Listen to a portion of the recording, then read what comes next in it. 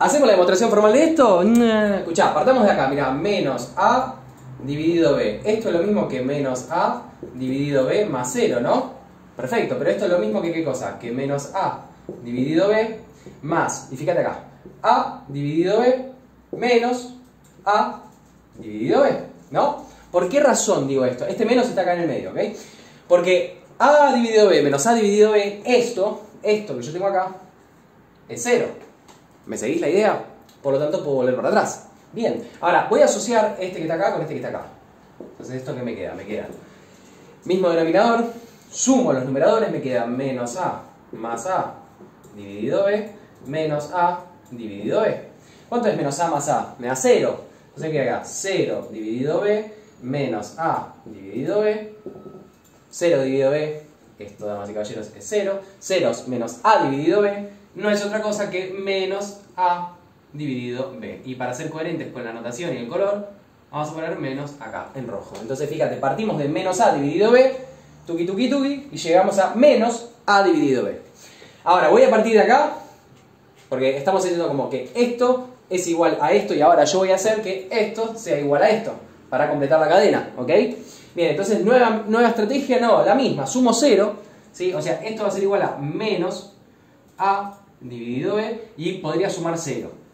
Pero yo no voy a sumar 0, porque ya lo hicimos acá, entonces quiero que tengas en mente eso, estaría como sumando un 0, pero ¿qué 0 voy a sumar? Voy a sumar lo siguiente, mira, vamos a sumar más A dividido menos B, menos A dividido menos B. ¿Ves que estas dos fracciones son opuestas?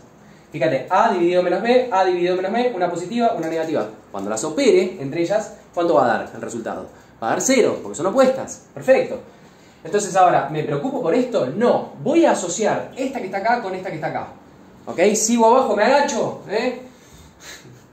me regalé. Bueno, esto sería eh, menos A dividido B. Este menos está en el medio, ¿ok?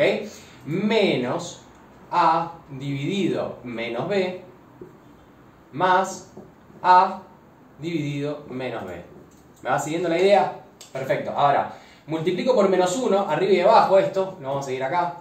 Me va a quedar menos A dividido B por menos 1 arriba, menos 1 abajo, menos A dividido menos B, más A dividido menos B. Perfecto, ahora, si acá operamos, nos queda eh, A dividido menos B, menos A dividido menos B, más A dividido menos B. Junto en una sola fracción, tienen el mismo denominador, ¿qué me queda? Me queda A menos A dividido menos B más A dividido menos B.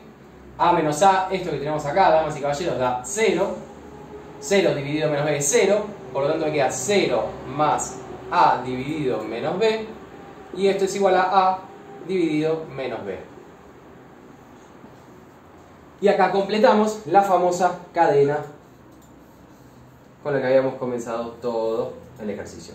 Repasamos, así ya terminamos, partimos de esto, hicimos todo esto hasta llegar acá, de acá hicimos todo esto y llegamos acá, entonces todo está conectado, por lo tanto podemos decir que esto es igual a esto, que es igual a esto, que era lo que queríamos probar. Nos vemos.